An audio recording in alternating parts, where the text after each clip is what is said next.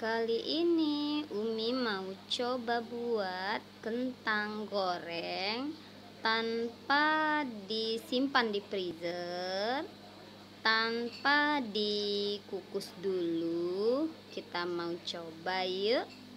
Apa aja bahannya? Pastinya kentang goreng. Eh kentang, maaf kentang.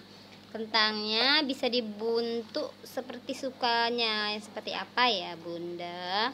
Boleh dihiris tipis boleh diiris dengan bentuk e, gelombang boleh dibentuk roll seperti ini. Ini coba pakai roll seperti ini. Pastinya menggunakan biji roll pada video Umi sebelumnya udah ada ya bun. Ini dari Tupperware. Terus apalagi ada maizena, ladaku, ketumbar, garam, dan pastinya minyak goreng untuk menggorengnya nanti.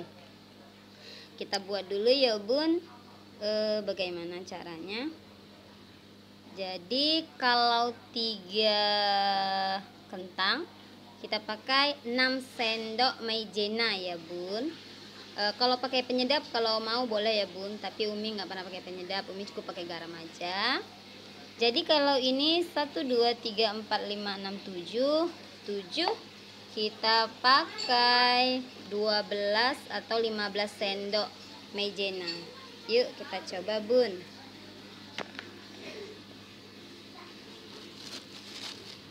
Ini maizena ya bun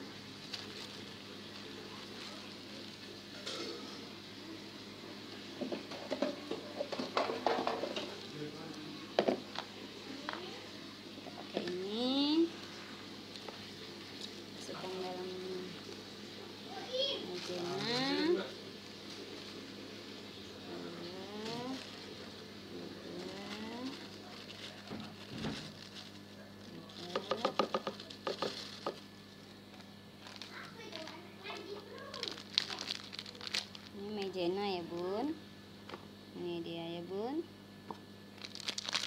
boleh merek apa aja ya bun?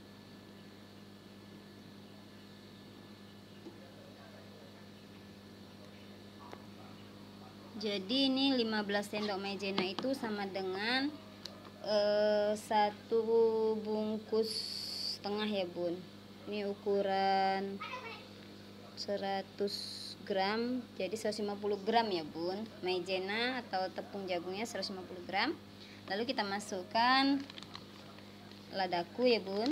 Biar dia eh tumbar biar wangi. Kita masukkan juga ladaku. Boleh kita giling sendiri boleh bubuk ya bun. Kalau kita giling sendiri pun boleh. Kira-kira aja sesukanya mau wangi dan pedasnya seperti apa. Dan kita masukkan garam kacau sampai menyatu. Sudah itu. Kita masukkan kentangnya. Kita buat sampai dia menyatu ya bun. Baru nanti kita goreng jadi kita mesti pastikan bahwa kentangnya ini semua tersampur dengan tepung ya bun. Kalaupun seperti ini kita bentuk roll seperti ini dia harus semua tertutupi oleh tepung. Seperti ini ya bun.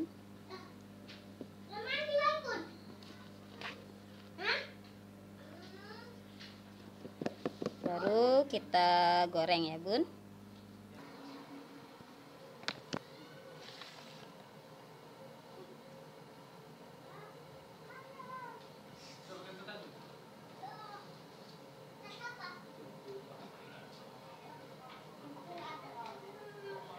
apa katanya habis terus apa lagi itu aja nggak pakai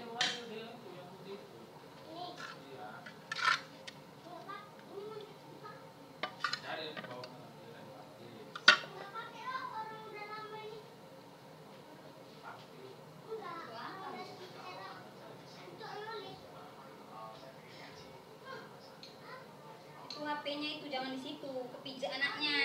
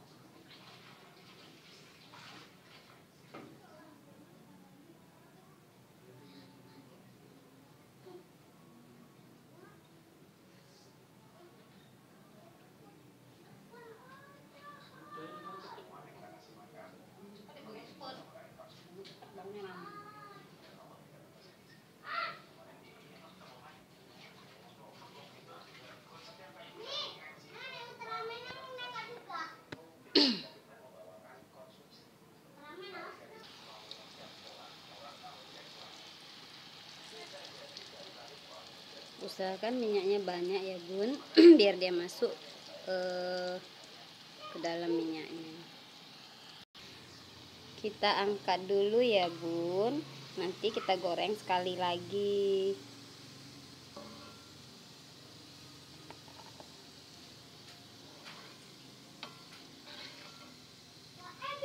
Dia setengah matang aja dulu. Nanti kita goreng lagi habiskan dulu ini ya bun.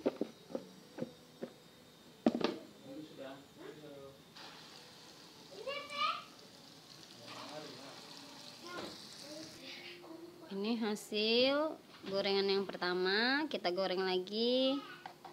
Sekali lagi ya bun. Ini kita goreng yang kedua. Ya bun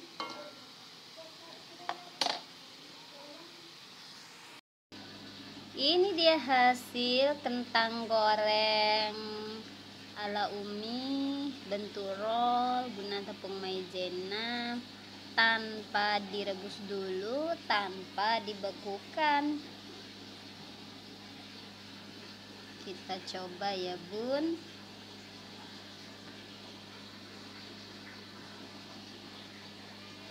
Dimakan dengan saus botol Bismillah. Hmm. Rasanya nikmat. Masih berasa kentang ya bun? Bukan berasa yang lainnya. Hmm, selamat mencoba, Bun.